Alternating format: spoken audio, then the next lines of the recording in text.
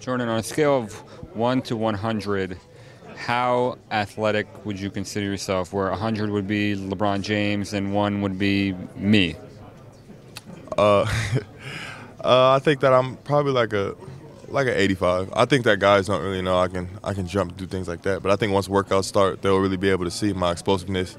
I know I lost some weight um, since school's been out, and, I, and, once that happened, I know I got really explosive, and I've been doing some things that I've been do, that I was doing in high school, jumping back, and I know I've been doing yoga, so I've been loosening up my hips, things like that. Something that I had problems with at Texas, and um, I'm feeling a lot better now, and I haven't been having no hip pains.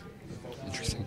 Um, most people have you projected as a three right now. Coming out of high school, you were projected as a two. Do you, is that, does that matter, or do you think? I mean, do you think that you're more one way or the other?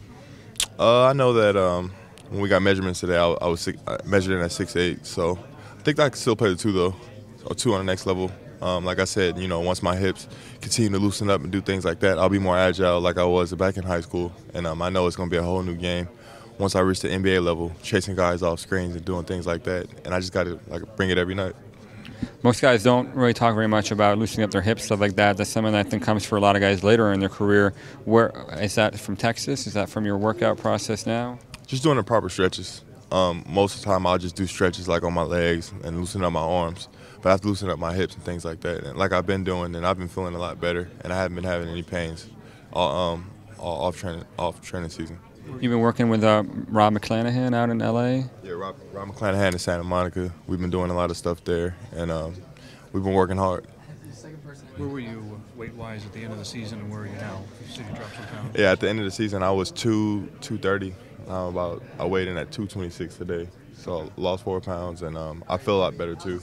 Been eating the right foods and things like that. So get away from the college junk food. Yeah, yeah. Most of the time in college, you just have to grab something really quick, then head to class, things like that. But now that I have more time to just focus on basketball, I think that now I feel a lot better and I can I can get the right foods. Thank you. No problem. Jordan, there seems to be some people talk about you at the NBA prospect. They say, "Well, we love his talent, but some concerns about attitude, red flags, stuff like that. Do you think that that's that there is any truth to that?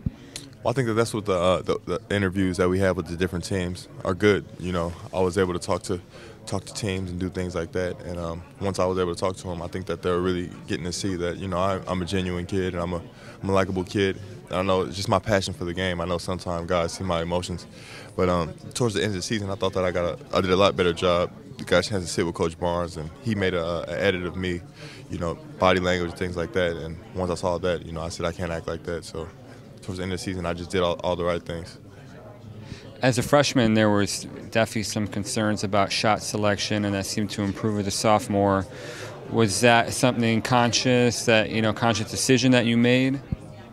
Uh, yeah.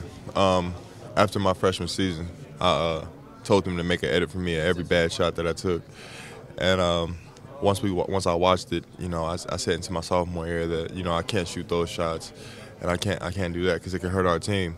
And so once once I did that, I got in the gym and I worked on what I need to work on, one two dribbles, posting up, do things like that. And I utilized all those things my sophomore season, and I had more success. And so, and so did my team. Even though we lost, we lost in uh, the third round in Arizona, but we still fought hard, and I think we still had a had a pretty good season. What kind of role do you see yourself playing in the NBA? Uh, I, I, bring uh, shooting. I can bring def, I can definitely shoot it. Uh, team needs shooting. I can, I can do that. I can rebound. I like rebounding, getting down there with uh, big guys, or small guys, or whatever, and rebounding the ball. Uh, I can post up. You know, sometimes I can I can take guys off the dribble. I'm a, I'm a really good passer. I don't I don't think a lot of people was able to see, see that. You know, and um, I think that I'll be able to show that. You know, once I get to the next level. Are you going to be a, a, pick and roll ISO guy in the NBA, or do you see yourself more coming off screens and, and that that kind of stuff? Uh, I think I can do both. You know, whatever team whatever team wants me to do, either or, I, will I'll be fine doing it, and I'll just play my role and uh, and watch the veteran guys and, and, see how see how they see how they play and see what the older guys want me to do and uh, see what the coach wants me to do. And once that's once that's done, I can I can bring whatever. Five years from now, what kind of NBA player are you? Um, that's a good question. Uh, hopefully, hopefully, you know, I'm, I'm still healthy. Uh, just like everybody, you know, you never know what can happen. But um, hopefully, I'm still healthy, and hopefully, I can, I can, I can make things happen. for my for my ball club, and I can continue to just play hard and um, see myself probably like a, like a Danny Granger style type player. What, te- what teams have you met? I met with the uh, with the Spurs, the uh, Wizards, and the um, Spurs, Wizards, and the Bucks.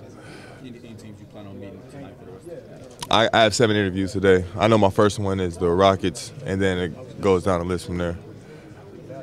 Anybody ask you anything that made you have to think or laugh or anything crazy?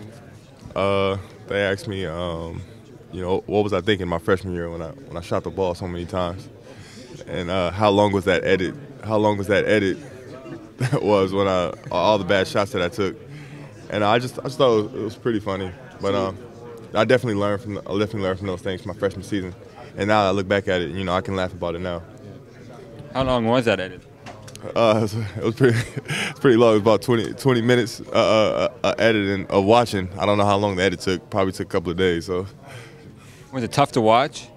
oh yeah, at, at the time um, when I sat down with coach, it was kind of awkward at the time. Uh, I was pretty embarrassed, but you know, sophomore year I did a much better job as far as shooting the ball and scoring the ball, and um, and I'm glad I watched it now because look back on it, like I said, I can laugh about it now and, and just move forward and continue to get better.